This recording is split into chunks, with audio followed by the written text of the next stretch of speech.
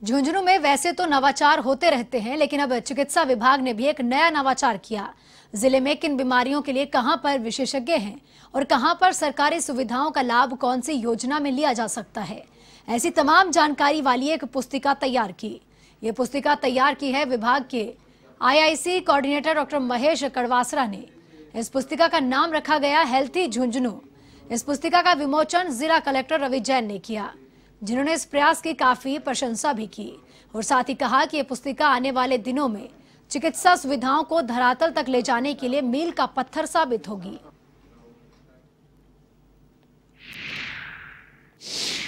IC coordinator doctor Mahesh Karwasra के द्वारा लिखी गई बुक हेल्थी जुन्नू का श्रीमान जिला कलेक्टर महोदय द्वारा विमोचन किया गया है।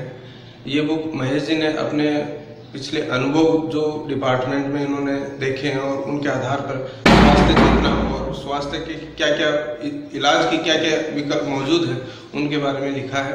इनमें इस बुक में इन्होंने टोटल नौ चैप्टर लिखे हैं, जिन आधार पर उनमें मातृ स्वास्थ्य, टीकाकरण, शिशु स्वास्थ्य एवं सरकारी योजना और साथ ही साथ भामाशाह स्वास्थ्य बीमा योजना के अंतर्गत जो अस्पताल सेवाएँ दे रहे हैं।